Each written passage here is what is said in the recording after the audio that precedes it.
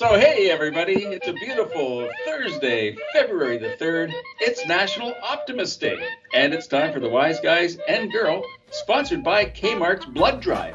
On National Optimist Day, there is a special call for a specific type. They're looking for B positive. As always, let's start with Sir and the weather.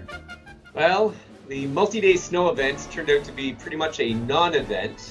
Uh, I think we got about 5 to 10 to 15 centimeters of snow, maybe even 20 if you're out by a principal officer's way. Currently, minus 5, working our way down to a low of minus 7. They are calling for a 100% chance of more snow at 11 o'clock, but I think that there's only a 5% chance of that. How's that for the math, sir? Uh, well, he did multiples of five. Hey, you know what? That reminds me. It's time for a top five list. Well, five top reasons that you could be an optimist. One, you see the glass is not only half full, but rather it runneth over. Two, you know that crypto crypto will eventually rebound. Three, you find yourself in hell and you're happy because at least it's a dry heat.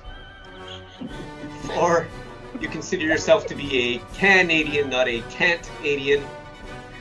And finally, five, you see the light at the end of the tunnel and know that it is not the light of the oncoming train. five signs that you could be an optimist. Or, or truck for that matter. For you know, sure. They're well, I, they're on auto anyway. I thought, uh, I thought uh, VP Botnik, is when you, uh, you bring a buck uh, to an eye dilation test. Just to keep yourself occupied.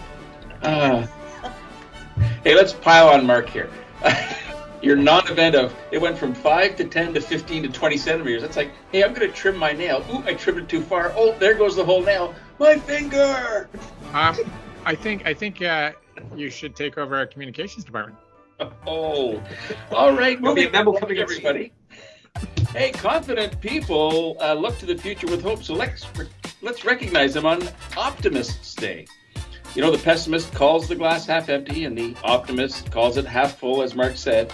And the proactive person said, Well, actually, the glass is full. I refilled it while you guys were arguing. You're welcome. Today, we also recognize optimist organizations around the world whose members volunteer their time and skills working with youth in their communities to provide leadership, scholarship, wellness, and safety, along with arts and sports programs. I did put my application in to join the local Optimist Club, but I'm not thinking I'm going to be accepted to that. Uh, but to prepare, I found an article that said I could become an optimist in seven weeks, but I'm not sure that's going to work out either. It's time for Tunes with Tamique. Tamique, what are we listening to today? I put a vote in for Always Look on the Bright Side of Life by Monty Python. That is a good one, and I was considering that one.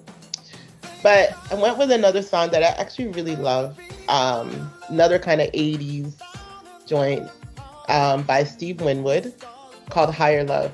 Oh, yes. Love, and of course, the great Chaka Khan is on that, which she, she really does elevate the song, I'm not going to lie. But the lyrics are incredible, and it, again, so apropos to the times that we live in. Think about it, there must be higher love, down in the heart or hidden in the stars above. Without it, life is wasted time. Look inside your heart, I'll look inside mine. Things look so bad everywhere. In this whole world, is it fair? We walk blind and we try to see, falling behind what could be. Bring me a higher love.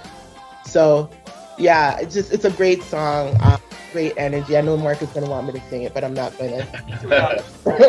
it's such an amazing song. Um, it, it kind of like yesterday's song it just makes you want to get up and move and, and actually feel optimistic. That's the thing about music. Music has um, different frequencies, right? All these notes have different frequencies. And that's why, you know, when you have minor chords, it does kind of bring your mood down a little bit as opposed to other types of chords. So really the the notes and the frequency, it's scientifically proven to change your mood um, and to bring up. So there's certain songs if you feel good, it's because they're that they're at that frequency, right? So this is one of those songs today. It does a lot for me in terms of optimism.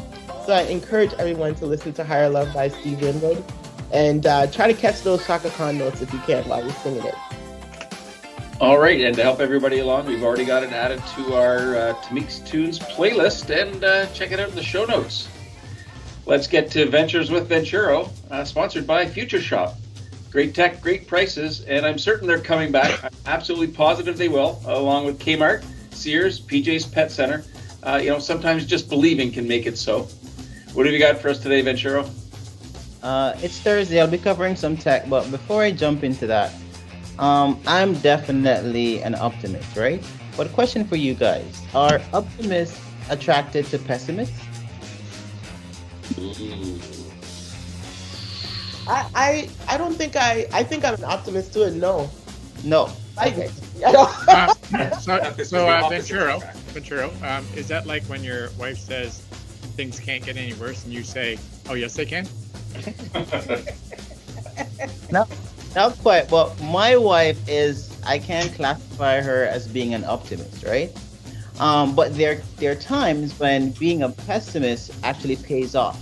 Case in point, when you're buying crypto, and your wife says, "Ah, I think it's time for you to sell some of the profits you've made on this crypto." and you, as the optimist, say, "No, it's gonna keep going higher and higher. It's gonna go to the moon." And alas, the crypto is in the gutters, and you can't let your wife know, right? I said, I told you. She said things can't get any worse, and you said, She's "Oh a yes, they can." The only one to the moon is you. Yeah, yeah. So there's there is definitely an app for everything, and today we're going to be looking at an app that us optimists can use. It's called No Zero Day, and the No Zero Day it takes a fresh look on your productive life, right? Um, whenever you you're thinking that there's nothing to gain out of a day, the No Zero Day app allows you to focus on four sections. What have you created? How have you helped? What have you learned? And it focuses on health as well. So go check out that app, No Zero Day. Um, you can definitely get get some positive things from that one. It also allows you to do some journaling as well, if you want to stay on the positive side, right? Because there's always something positive out of every situation. So And the, and the most amazing feature of the positive thing is you put your cryptocurrency amount in, it adds 50% so you can show your wife. that would be awesome. Is it telling you something if you don't have enough memory on your phone to actually download the app? Yeah, it's telling you that you have too many apps. You have listed fewer too many You're times. right. Hey, there's a bonus tech tip. That one, you got that one for free this week, Mark. Right on. It is Thursday. That means let's get to Thursday's thought.